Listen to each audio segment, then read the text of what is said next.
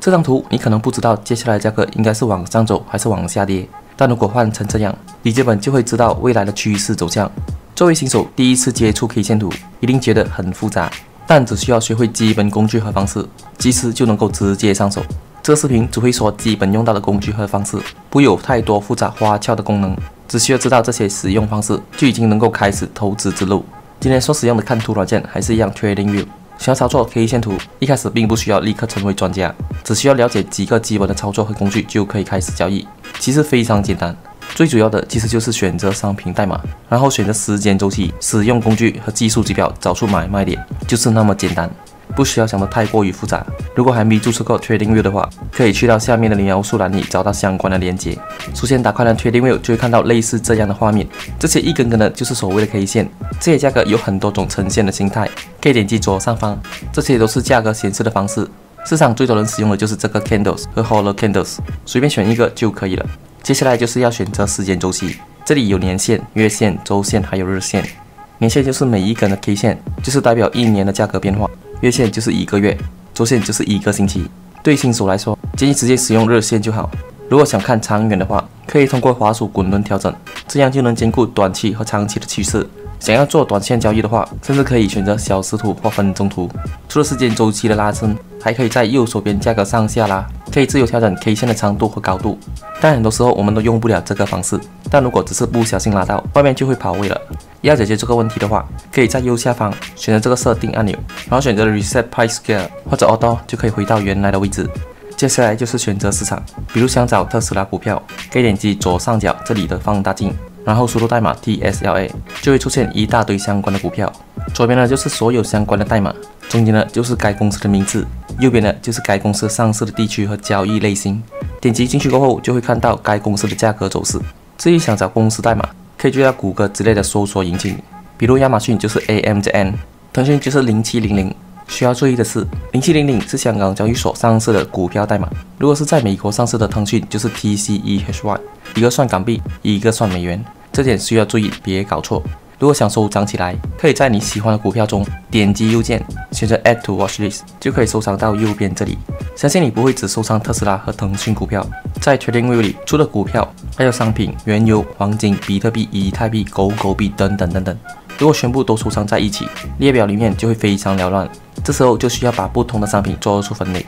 首先，随便指向一个标记，点击滑鼠右键，然后选择 Add Section，在新的 Section 中点击左键两次，然后可以输入你想分类的名字，比如美股、A 股、台股还是期货，然后把已经加入的商品代码拉去你所设定的区域，这样看上去就简单明了。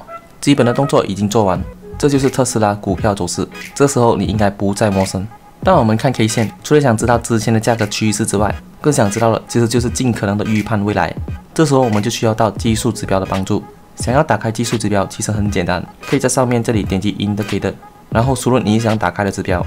在市场上其实有许多的技术指标，比如什么 MACD、RSI、KDJ 等等，每个指标本身都有自己的优缺点。但需要注意的是，在免费版本的 TradingView，最多只能同时打开三个指标。如果想要加多一个，就需要付钱订阅。一般来说，三个指标就已经足够使用。如果你想了解不同的技术指标的功能，可以在我的频道里找得到。在我的频道中有几个市场上最主流的技术指标讲解，特别是 MACD、RSI、移动平均线，还有布林通道等等，里面有解释到他们的公式计算和市场一般的使用方式。如果有时间的话，建议去看看。除了一般的技术指标之外，其实还能自己画线，比如什么趋势线、阻力支撑等等。虽然这些稍微比较进阶，但还是可以尝试一些比较简单的工具。这里有几个比较建议收藏的、经常会使用到的绘图工具。在谈到工具之前，左边这个磁铁建议打开，可以直接吸附在 K 线上，不需要自己来对准。对于新手来说非常方便。首先介绍的工具就是 Ray，这个工具可以画趋势线，使用的方式非常简单。选择了工具过后，点击两个低点和高点就可以了。而这条线就是所谓的阻力和支撑线。如果想收藏该工具，可以点击工具右边的星星，点击过后就会出现所有你收藏的工具箱。